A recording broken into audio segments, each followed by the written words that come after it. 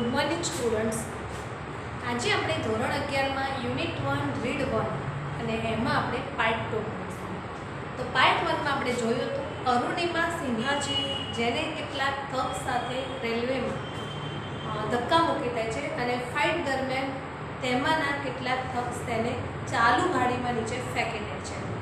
અને નીચે ફેંકતાની સાથે અરુણિમા સિન્હા સામેથી બીજી ટ્રેન આવતી હોય છે. તો બંને ટ્રેન સાથે તેનું શરીર વારંવાર અથડાય છે. અને અચાનક પછી જ્યારે ગ્રેવિટેશનલ ફોર્સના કારણે નીચે પડે છે, ત્યારે તેનો ડાબો પગ છે, ગાડીની નીચે આવીને કપાઈ જાય છે. તે ઘણી બધી ચીસો પાડે છે, પણ તેની ચીસ સાંભળવા માટે કોઈ જ ત્યાં હાજર હોતું નથી.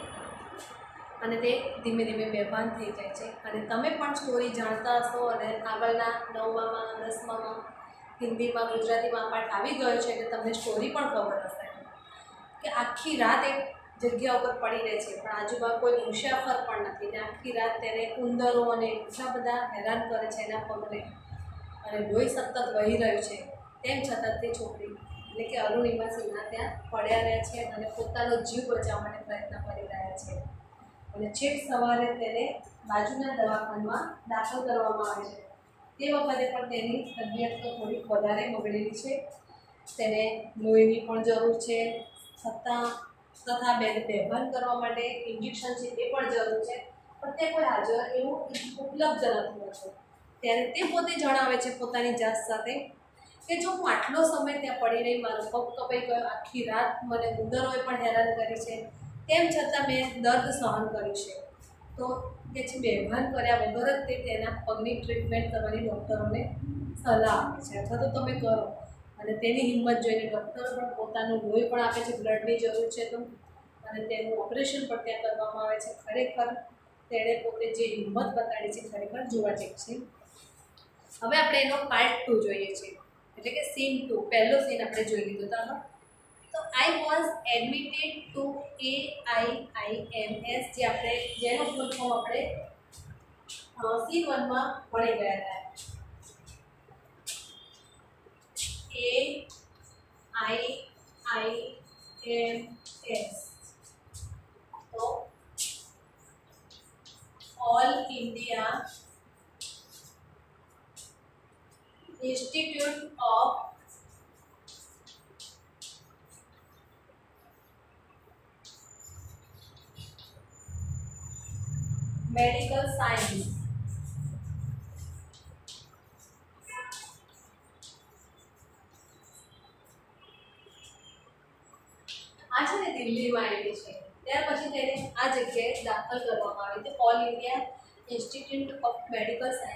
તમને પણ આવો કદાચ પ્રશ્ન પૂછવામાં what is the full form of A I I M S તો જુઓ. એ આઈ આઈ એમ અને એસ સંસ્થાનું શોર્ટ ફોર્મ છે. આપણે ઘણી જગ્યાએ આવા નામ જોતા હોઈએ છીએ. દિલ્હીમાં આવેલી છે. On the intervention of the PM intervention એટલે ભલામણ.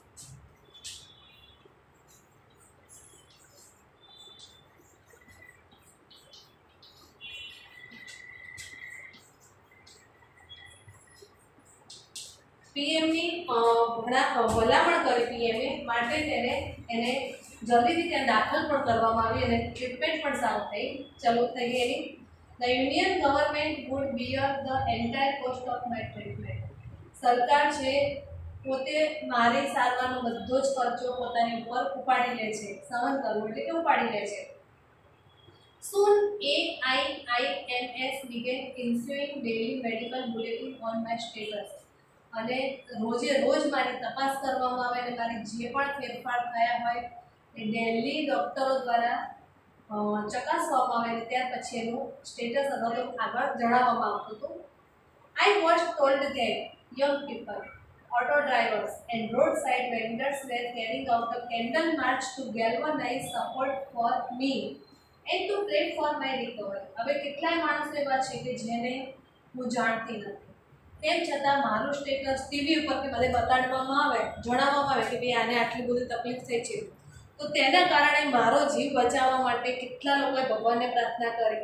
યંગ પીપલ એટલે યુવાન માણસોએ ઓટો ડ્રાઈવર્સ કે જે રિક્ષાવાળાઓ છે તે, અને રોડ સાઈડ વેન્ડર્સ વેન્ડર્સ એટલે ફેરિયાઓ જે બેસે છે રોડ ઉપર, તે બધાએ carrying out of candle candle એટલે મીણબત્તી હોય ને એની માર્ચ એટલે એક રેલી જેવું કાઢે છે ટુ ગેલ્વનાઇઝ સપોર્ટ અને એમ કરીને મને એક ટેકો આપે છે for me and to pray for my recovery અને હું જલ્દીથી સાજી થઈ જાઉં તેના માટે તેઓ ભગવાનને પણ પ્રાર્થના કરે છે.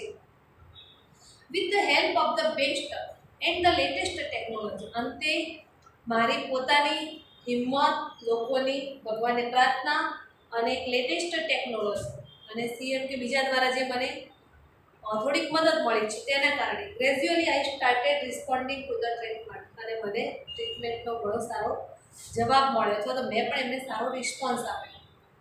વન મોર્નિંગ એક દિવસે સવારે માય બ્રધર ઇન એટલે કોણ? બ્રધર ઇન એટલે આપણા જે જીજાજી હોય તેને કહેવાય, આપણે બેનના husband my sister Lakshmi સસવણ Sahib suddenly asked me Everest ચડ્યો કે અચાનક જ તેમણે મને પૂછી લીધું?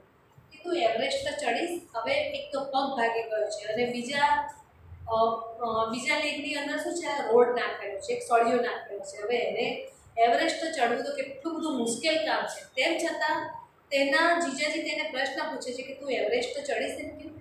He had just read an interesting piece of information in the newspaper તેમણે છે ને ન્યૂઝપેપરમાં એક રસપ્રદ અથવા તો ગમે તેવા સમાચાર વાંચ્યા હતા. રસ પડે તેવા no female amputee had ever scale Everest કોઈ પણ અપંગ. હવે તો એ પોતે અપંગ થઈ ગઈ એક પગવાળી.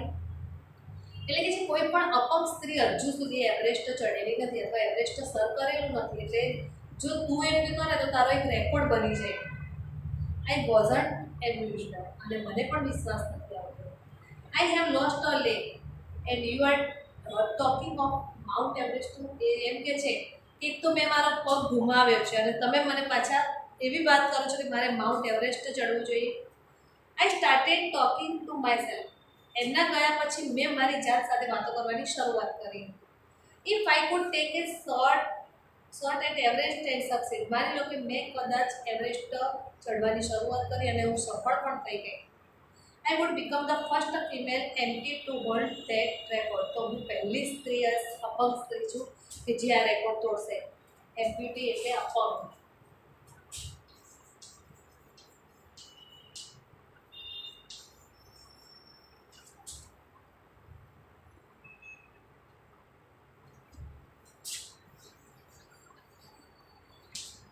ફિમેલ એટલે સ્ત્રી.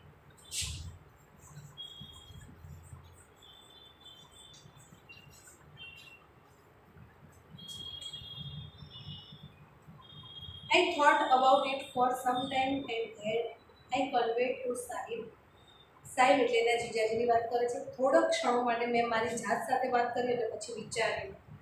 વિચાર્યા પછી મેં મારા સાહેબ જે છે, જીજા, એમની સાથે મારા જે વાત છે એને કન્વે કરી. My willingness to take up the challenge અને મારા અંદર રહેલી જે હિંમત, તાકાત, શક્તિ છે, તેણે તેમની ચેલેન્જને સ્વીકારી લીધી. ઠીક છે, હમ કરેંગે. હા કે હું કરીને બતાડીશ તમને. I say I now had something to look forward to હવે મારે આગળની તરફ જોવાની જરૂર હતી. હંમેશા એટલે મારું જે નક્કી કરેલું ગોલ છે કે ધ્યેય છે, એ ગોલ એ રીઝન પોર્ટ્રેટ મને પછી મારે જીવનમાં તેના વિશે જ માત્ર વિચારો કરવાના હતા, તેના જ સ્વપ્ન જોવાના હતા. It was not going to be easy અને મને પણ કંઈ ખબર હતી કે વસ્તુ બહુ સરળ નથી. જેને નાના નાના પર્વતો એમને ચડવા તો પણ તકલીફ પડે છે, બે પગે તો પણ તકલીફ પડે છે. તો મારે તો એક જ પગ છે ને, એક પગે છે કે એવરેસ્ટ ચડવાનો છે. એ ઘણો બધો મુશ્કેલી છે. પણ જો હું આ મુસીબતમાંથી બચી છું ને, તો ભગવાને મને કંઈક સારા કામ માટે બચાવી હશે. અથવા તો કંઈક ને કંઈક એની પાછળ કંઈક રીઝન હશે. But throughout my life nothing had come easy પછી કે મને પણ સમજણ પડી. કે આજથી હવે મારા જીવનમાં કોઈ જ વસ્તુ સરળ નથી. દરેક વસ્તુ મારા માટે એક મુશ્કેલી બની ગઈ છે. મારે થોડું પણ ચાલવું પડશે ને, તો પણ મારે બીજાનો સહારો લેવો પડશે કે હેલ્પ લેવી પડશે. હું એકલી તો નહીં જઈ શકું આગળ. એટલે હવે મારી જિંદગી કેવી થઈ ગઈ છે? ડિફિકલ્ટ બની ગઈ છે. I felt like I was born again અને મને તો એક ક્ષણ એક માટે એવું લાગ્યું કે જાણે ભગવાને મને બીજો જન્મ આપ્યો છે. Then I started waiting for my artificial limb to arrive. Artificial એટલે કૃત્રિમ.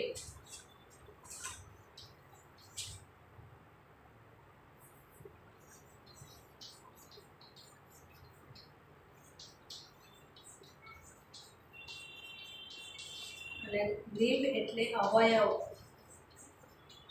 ટૂંકમાં અવયવ એટલે શું? આપણે અહીંયા પગની જ વાત કરીશું એને કૃત્રિમ જે પગ મળવાનો છે ને, એની હું વેઇટ કરવા લાગી વેન ઇટ ફાઇનલી અરાઇવ અને અંતે તે મળી જાય છે. આઈ વોઝ એ ઓવરજોઈડ અને હું ખૂબ જ ખુશ થઈ જાઉં છું. The artificial leg felt almost like my real leg અને જ્યારે મારો કુદરતી અને કૃત્રિમ, બે પગ, બરાબર? તો કૃત્રિમ પગ હતો ને જે મને આર્ટિફિશિયલ લેક એ બિલકુલ મારા જે નેચરલ લેક હતો, એના જેવો સેમ લાગતો હતો. I had set my eyes on a mountain પછી હું મારી આંખો અથવા તો મારા વિચારો બધા પર્વત તરફ કરું છું. And I needed to prepare myself with the help of the stranger અને સ્ટ્રેન્જર એટલે આ જે અજાણ્યો પગ છે ને, એ પગની વાર્તા છે. કે મારે હવે આ અજાણ્યાની મદદ લઈને મારે એવરેસ્ટને સર કરવાના છે. હવે સેમ તો આપણે એકવાર ફરીથી જોઈ લઈએ એટલે આપણને ખ્યાલ આવે. તો જેટલા આપણે પહેલાં બોર્ડમાં લખ્યા છે શબ્દો જોઈ લઈએ છીએ એકવાર બધા. ઇન્ટરવેન્શન એટલે ભલામણ. એમ્પ્યુટી એટલે અપંગ, ફિમેલ એટલે સ્ત્રી આર્ટિફિશિયલ એટલે કૃત્રિમ અને લીવ એટલે અવયવ તો seen to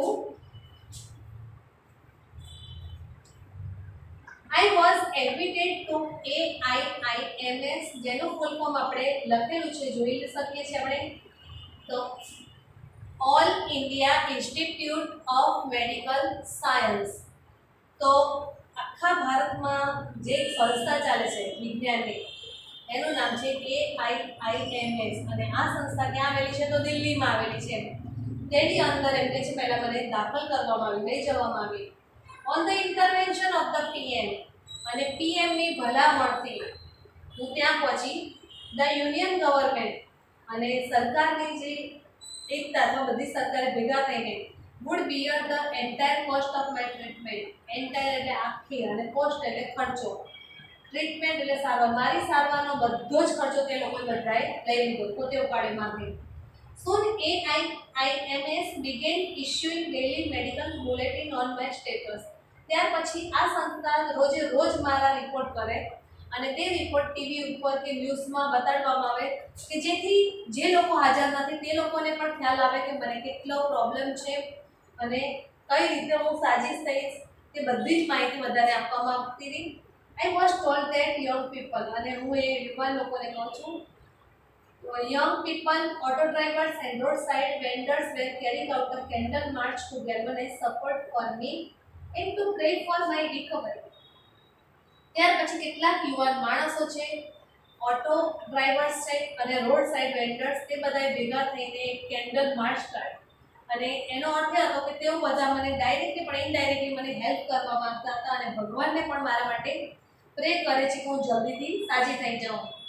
With the help of the best and the latest technology એક તો તેમની ભગવાને પ્રાર્થના અને મારી હિંમત અને નવી નવી ટેકનોલોજીના સહારે ગ્રેજ્યુઅલ એટલે ફાઇનલી અથવા તો અંતે I started responding to the treatment અને મેં પણ ટ્રીટમેન્ટને રિસ્પોન્ડ કર્યો અથવા વળતો સારો જવાબ આપ્યો one morning my brother in law brother in law એટલે જીજાજી. My sister Lakshmi husband Sahib suddenly asked again Everest ચડોકી અને તેમણે મને પૂછ્યું, તું એવરેસ્ટ ચડીશ એમ કે? Had just read an interesting piece of information of the in the newspaper તેમણે માત્ર રસપ્રદ કેટલાક માહિતી વાંચી હતી. ઇન્ફોર્મેશન એટલે માહિતી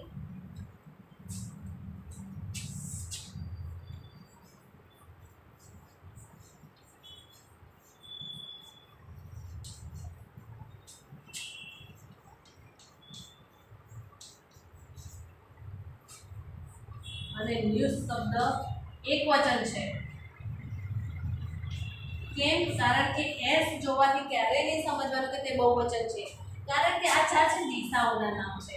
નોર્થ ઈસ્ટ વેસ્ટ અને સાઉથ આ ચારે દિશાઓમાંથી જે પણ આપણને નવી નવી બાબતો જાણવા મળે છે, તેને આપણે ન્યૂઝ તરીકે ઓળખીએ એટલે ન્યૂઝ શબ્દ એક વચન છે. Interesting piece P I E piece એટલે શું એટલે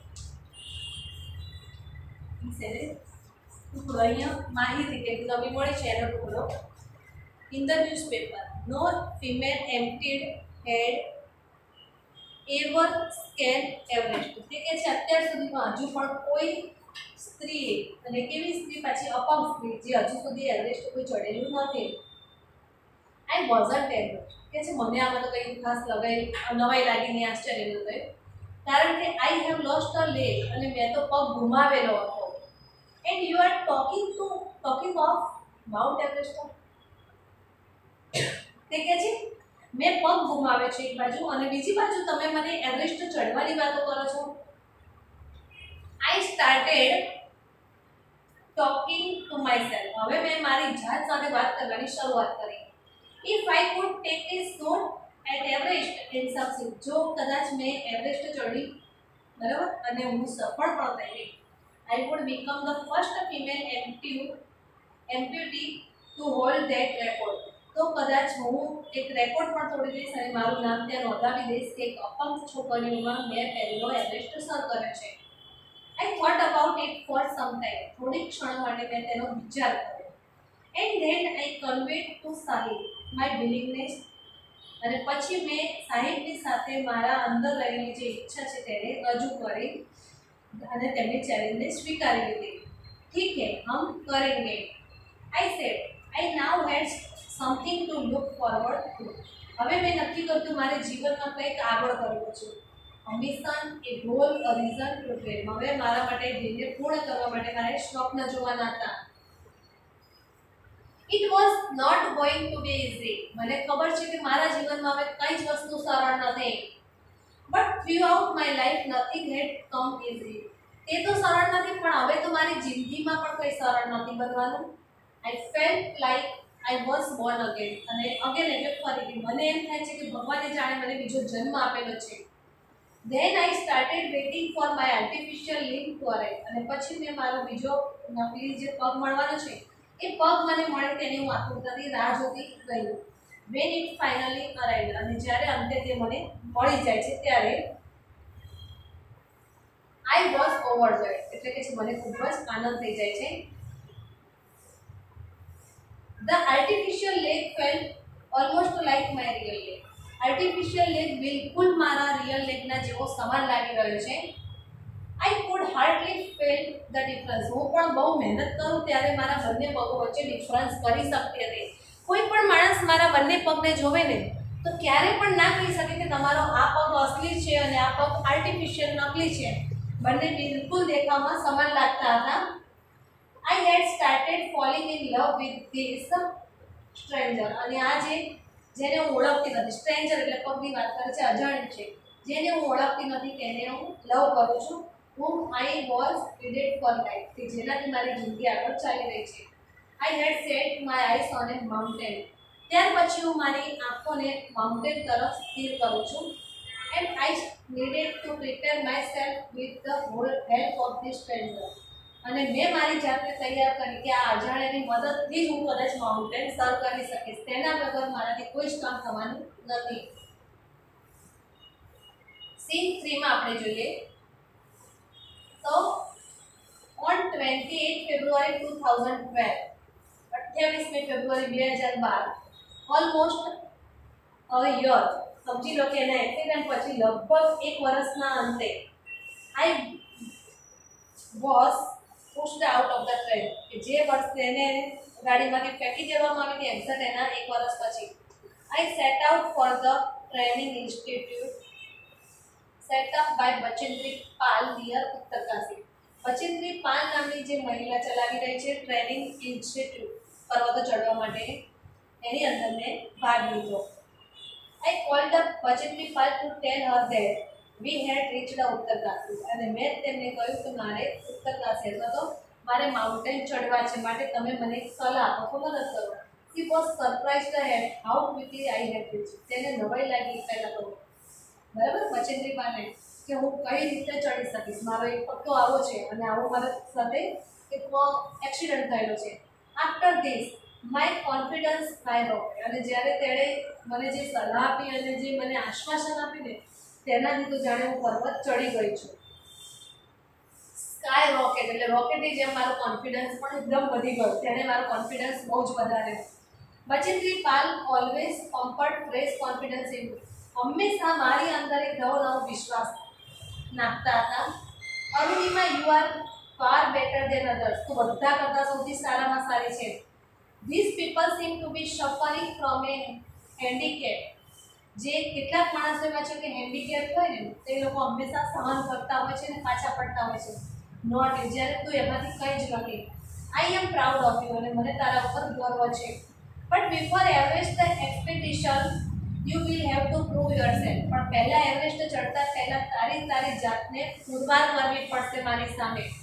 અથવા તો વર્ણન કરવું પડશે તું જે ચડે છે પર્વતે.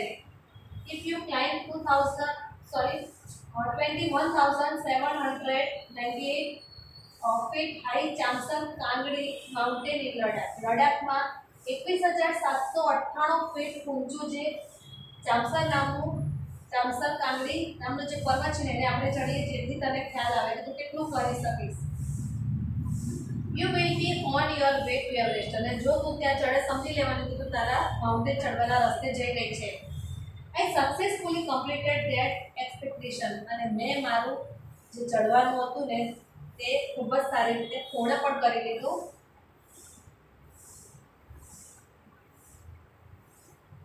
બાય ધ ટાઈમ અને એ સમય we reached the base camp અમે જે કેમ્પ હતો ત્યાં નીચે અથવા બેઠા હતા ત્યારે situated at eighteen thousand feet. અને નીચે એટલે કેટલા હતા? અઢાર હજાર ફીટ ઊંચે હતા sixteen of the nineteen members of the team had retired ઓગણીસ મેમ્બરોની જે ટીમ હતી એમાંથી સોળ જણ તો ત્યાં ત્યાં જ રિટાયર થઈ ગયા. અમારે હવે ઉપર નથી આવતું.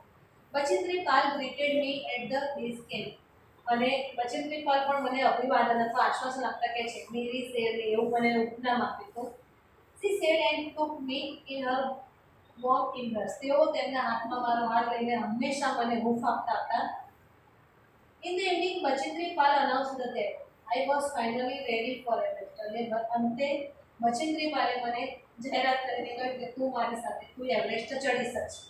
She also assured me that she would talk to the officials and Tata steel for sponsoring my Everest trip. અને તેઓ જે લોકો મને સ્પોન્સર કરે, એટલે કે મારો આવવા જવાનો બધો ખર્ચો આપે કારણ કે છે કે એવરેજ તો જાણવું એના માટે કંઈક નાની વાત નથી તમારે ખર્ચો પણ થાય છે સ્પોન્સર કોઈના દ્વારા થાય, તો જ જઈ શકો છો તમે.